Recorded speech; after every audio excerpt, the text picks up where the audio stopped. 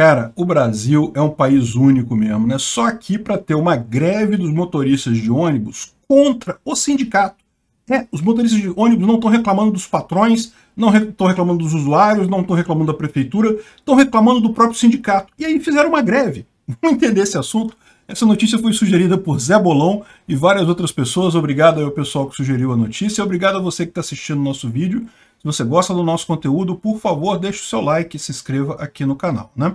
Pois bem, o que aconteceu? Está tendo uma greve de ônibus lá em São Paulo. Né? Parece que já foi dissipado o negócio, mas ainda está tá tendo trabalho lá, principalmente nos trólebus né, da, da, lá do, da, da SP Trans, a, a, os terminais do Parque Dom Pedro II e Mercado no centro da cidade. Né? Então ficou muita gente sem ônibus, uma, tra uma tragédia para todo mundo, é muito chato isso, o pessoal perde hora no trabalho.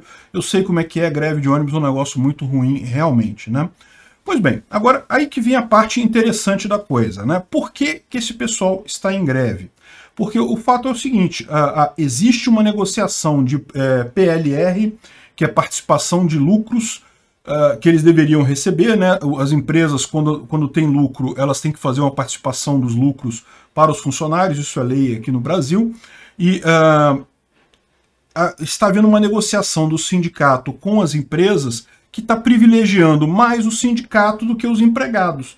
Esse é o problema do pessoal. Repara o que, o que acontece aqui no Brasil. Aqui no Brasil, até pouco tempo atrás, isso melhorou agora que acabou o imposto sindical, né?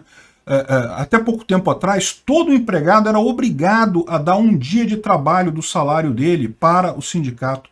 E pior, haviam decisões judiciais que acabavam obrigando algumas categorias, alguns empregados, a pagar ainda mais do que isso em imposto sindical, porque o sindicato fazia uma convenção, decidia que ia aumentar o valor do imposto sindical, e isso valia para todo mundo, mesmo quem não era afiliado ao sindicato. Como é que pode um negócio desse? Veja, do ponto de vista da ética libertária, eu acho que sindicato é uma coisa legal, uma coisa permitida. Qualquer associação que você faça, você, um grupo de trabalhadores de uma profissão, em uma empresa, você tem o direito de se reunir e formar um grupo para negociar com o patrão. É perfeitamente válido isso, é perfeitamente razoável. O problema é que no Brasil isso virou um negócio. O sindicato no Brasil virou um negócio virou quase que, primeiro, é, é, sustentado pelo Estado, o Estado já garante que as empresas vão pagar para o sindicato aquele imposto sindical, o sindicato não tem que fazer coisa nenhuma, porque no final das contas não, né, não, ele não precisa provar que ele é útil para os, as pessoas, porque as pessoas têm que pagar, mesmo que elas não sejam filiadas ao sindicato, mesmo que o sindicato não faça nada, então criou esse negócio. Em todo o resto do mundo, você tem determinado número de sindicatos nos países. É lógico, como eu falei, é natural, é um movimento natural, as pessoas se reúnem, querem lutar por melhores direitos. Eu, eu, particularmente, acho que nem sempre essa é a melhor maneira de fazer isso. Mas certamente é direito das pessoas tentar este caminho. Aqui no Brasil, o que acontecia? O número de, de sindicatos no Brasil explodiu. Era um negócio de ouro você criar um sindicato de alguma coisa, né? Porque pô, você ganha dinheiro de graça, não tem que fazer nada. Se o seu sindicato for um merda, o que as pessoas vão fazer? Vão sair do sindicato? Não tem como fazer isso, é obrigatório pagar. Enfim, isso melhorou um pouco, mas não melhorou 100% não. É o que eu falo para vocês. Você ter um sindicato não garante que você vai ter o apoio, se principalmente se o sindicato não for uma coisa espontânea, que é o que acontece no Brasil. No Brasil, tipicamente os sindicatos acabam surgindo dentro de máfias esquerdistas de políticos. Então são políticos esquerdistas que criam aquela máfia e incorporam aquele sindicato ali e no final das contas você não tem opção.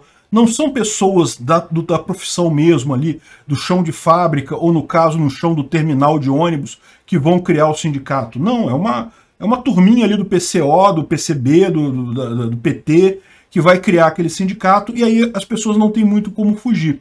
E às vezes as pessoas acabam contribuindo, acabam fazendo contribuições voluntárias, e, e, isso não necessariamente ajuda as pessoas, porque eh, eu já falei isso outras vezes também. O sindicato ele tende a procurar o interesse do sindicato na negociação. É errado você achar que um sindicato vai negociar é, é, tendo em mente o melhor para os sindicandos, né, para as pessoas que fazem parte daquele sindicato. Ele vai procurar uh, otimizar o lado dele. Eu falei um caso que isso acontece com muita frequência. É muito comum em negociação salarial o sindicato abrir mão de aumento de salário em troca de auxílio creche, auxílio plano dental, não sei o que lá, que é uma coisa que é, para o sindicato é melhor, porque ele pode dizer que não, que conseguimos um plano dental para os é, para os trabalhadores, ó, conseguimos não sei o que lá, conseguimos não sei o que lá, sendo que seria muito melhor para os trabalhadores ter um 0,1% de aumento, ah, é uma merreca 0,1%, é uma merreca. O sindicato não quer fazer isso, por quê? Porque 0,1% parece que eles não conseguiram muita coisa, parece que é um número baixinho. Aí bota plano de saúde, bota plano de saúde, sendo que o, o, o interesse do trabalhador, na verdade, era receber o 0,1% mesmo. É melhor isso do que ele ficar recebendo esses planos que no final das contas nem valem tanto assim, né?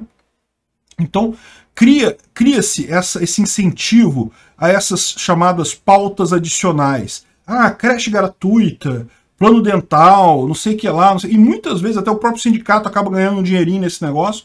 Então, no final das contas, o sindicato começa a negociar muito mais interesse dele do que interesse dos trabalhadores mesmo, no final das contas, né? Infelizmente. É, é, e é isso que está acontecendo lá. O sindicato está fazendo uma negociação com as empresas de ônibus, e os trabalhadores não estão satisfeitos com o sindicato. Ou seja, daqui a pouco eles vão ter que criar um sindicato contra o sindicato, né, para fazer a negociação com o sindicato, porque o sindicato não é válido. É a coisa que você consegue quando você politiza sindicato. Sindicato não era para ser uma coisa política, era para ser uma associação dos trabalhadores ali daquela região que vão discutir com o patrão. É, aí beleza, não tem nada contra isso, acho perfeitamente válido você ter esse tipo de coisa criaram aqui no Brasil, virou esse monstrengo político, esse monstrengo que tem uma vida dele próprio. E ó, se o Lula voltar, se o Lula voltar, vai voltar, vai voltar o imposto sindical, hein? Você pode ter certeza que isso vai piorar 10 mil vezes. Ah, ah, os sindicatos no Brasil perderam 99% da arrecadação deles. Você acha? Eles só não fecharam as portas porque estão todos eles na expectativa de Lula voltar e voltar a boquinha do imposto sindical. Felizmente, a chance de Lula ganhar é muito pequena, mas tomem cuidado, hein? não deixa de votar certo nessa eleição. Obrigado por assistir o vídeo até o final. Além de curtir, compartilhar e se inscrever no canal, considere se tornar patrocinador com valores a partir de R$ 1,99 clique no botão Seja Membro abaixo para saber as condições e vantagens de patrocinar o canal. Mais informações sobre o nosso projeto, visite nossos sites indicados na tela.